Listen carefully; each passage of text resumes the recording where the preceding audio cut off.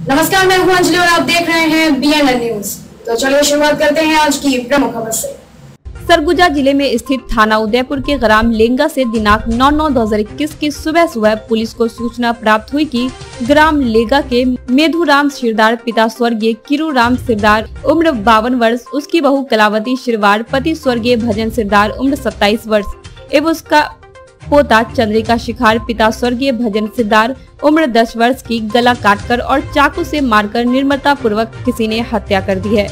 सूचना मिलते ही यह खबर सरगुजा सहित छत्तीसगढ़ में आग की तरह फैल गई, जिस पर तत्काल सरगुजा पुलिस अधीक्षक अमित तुकाराम, काबले अतिरिक्त पुलिस अधीक्षक विवेक शुक्ला एस डी कापुर, अखिलेश कौशिक, थाना प्रभारी उदयपुर अपनी टीम के साथ घटना स्थल पर पहुँचे, साथ ही मौके पर डॉग स्क्वाड एफएएसएल की टीम में फिंगरप्रिंट एक्सपर्ट भी पहुँचे।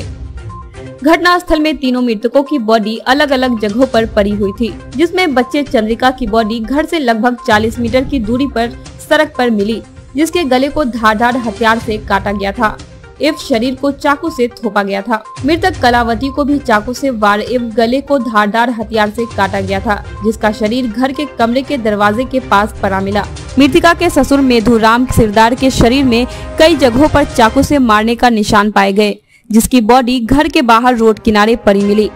घटनास्थल को देखने के बाद तत्काल पुलिस अधीक्षक के नेतृत्व में टीम गठित की गई, जिसमें सदेहियों से पूछताछ करने हेतु एक टीम, टेक्निकल एनालिसिस करने हेतु साइबर की टीम एफएसएल की टीम में परिवार से पूछताछ करने के लिए एक टीम का गठन किया गया।